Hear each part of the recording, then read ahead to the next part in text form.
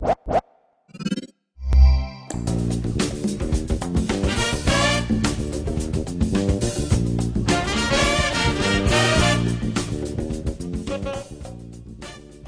มคอนเสิร์ตนี้ น้องไม่อยากเห็นช้าๆ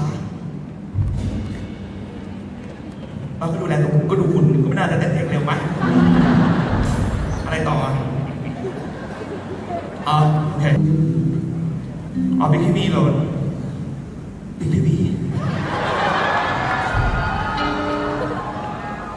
รับหนึ่งตำแหน่งตรงนี้เดี๋ยวนี้ตอนนี้พี่บีบิ๊กพี่บีบิ๊กพี่บีสายไปแล้วกับไฟคนนี้เอาขอเสียงปรบมือกับบิ๊กพี่บีด้วยครับฮะรักเป็นรักได้ไม่ต้องมาเพราะว่าพี่มีผัว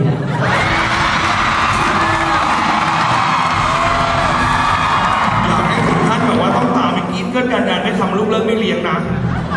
เอาเดี๋ยวว่างๆอย่างเงี้ย อากาศดีๆ บรรยากาศดีๆ วันว่างๆ ค่อยมาดู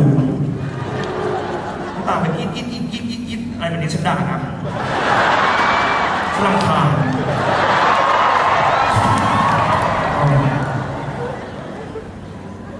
โอเคนะ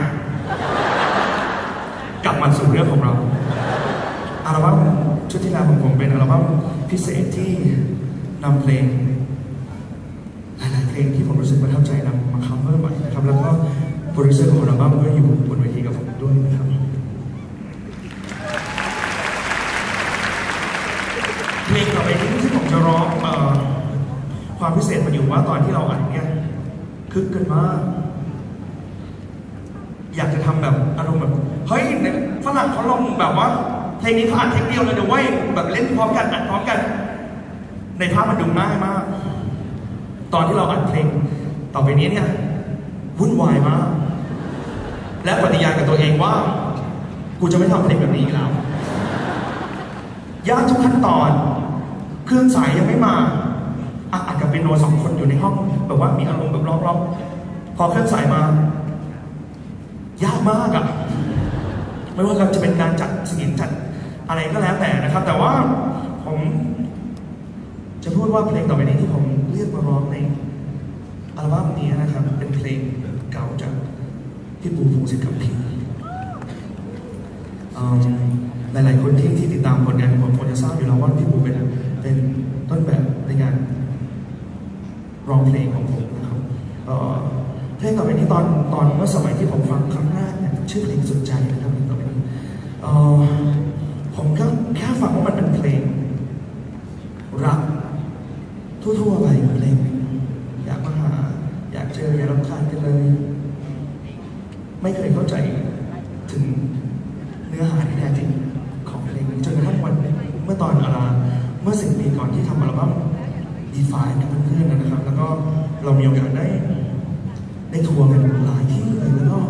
ช่วงนั้นประกอบกับคุณพ่อผมป่วยหนักมากเป็นมะเร็งระยะสุดท้ายนะครับแล้วก็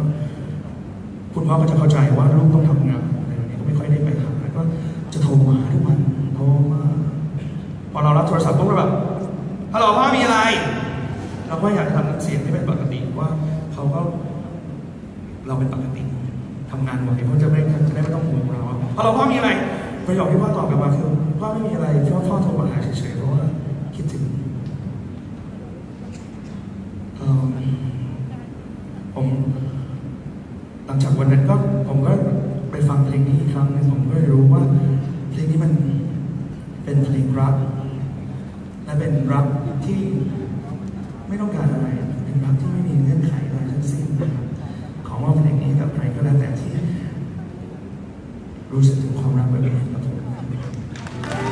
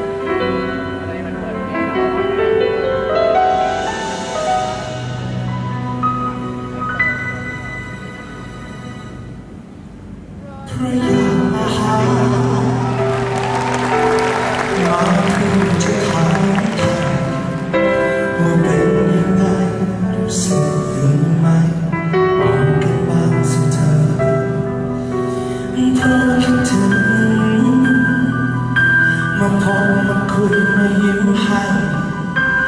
แล้วจะไป เพื่อวันนั้นจะมา